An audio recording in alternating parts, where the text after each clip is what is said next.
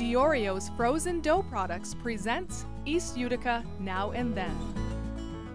Everybody likes waffles, and so do I. I usually order Belgian waffles uh, when I go out to breakfast, but there's one waffle that I especially like. It's an Italian waffle and it's called pizzelle. It's a simple recipe. It includes eggs, whiskey, vegetable oil, flour, some orange rind.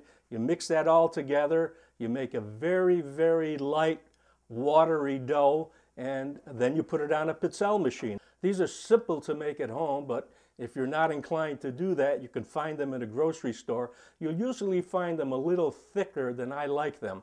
Uh, we like them very, very thin, and when they are thin, uh, you can make them flat. That's the way they're usually eaten, uh, covered with pow powdered sugar. Or you could roll them into a cannoli style and fill them with ice cream later. Or you can even make cups out of them and put your favorite pudding or ice cream or anything you like inside. Veg not vegetables, but uh, a fruit, any kind of fruit. Uh, and it would be really, really delicious. Even before the day of modern appliances, uh, Italians had this little gizmo that they would use making one pizzelle at a time.